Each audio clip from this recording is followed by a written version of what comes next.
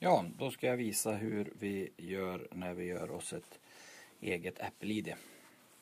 Vi går in i App Store. Jag ser här att vi är inte inloggade. Och för att kunna skapa oss ett gratiskonto, alltså utan Mastercard, Visa eller ett giftcard, så letar man upp en gratisapp. Till exempel Kalle Anka här finns ju andra serietidningar också.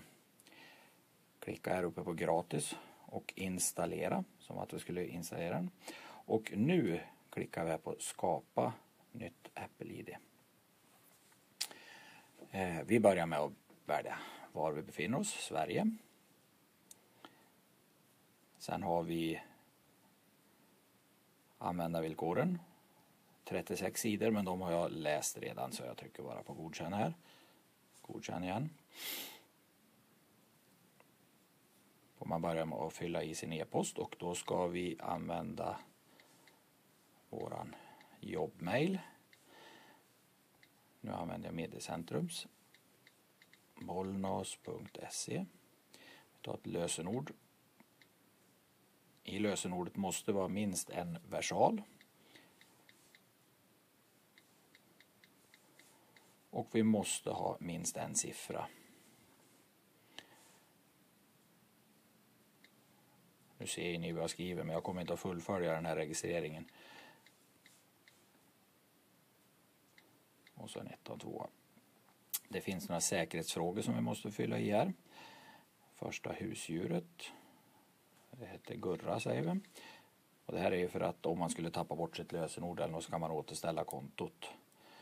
Eh, filmstjärna tar vi där och det blir ju Clintan kan vi säga. Och tredje säkerhetsfrågan. Favoritlag måste vi naturligtvis passa på att skriva AIK.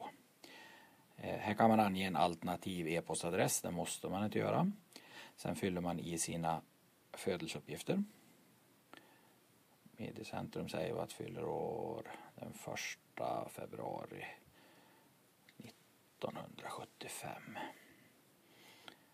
Eh, här kan man prenumerera på olika saker om man vill. Det hoppar jag över nu. Jag klickar nästa.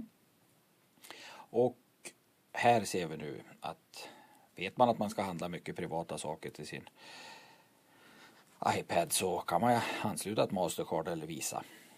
Eller kommer man på efterhand att man vill köpa saker så går det att ladda in ett sånt här giftcard. Men nu låter vi det stå kvar här på ingen. Alltså då går det bara att ta gratisappar. Här fyller man i förnamn, efternamn, adress och så vidare, telefonnummer. Och sen när man klickar på nästa här nere då kommer det att gå iväg ett mail till den adress man angivit. Och för att aktivera kontot så klickar man på länken som är i där. I det lilla mejlet som kommer till din e-post. Och sen loggar man in här på App Store och sen är allt färdigt. Lycka till!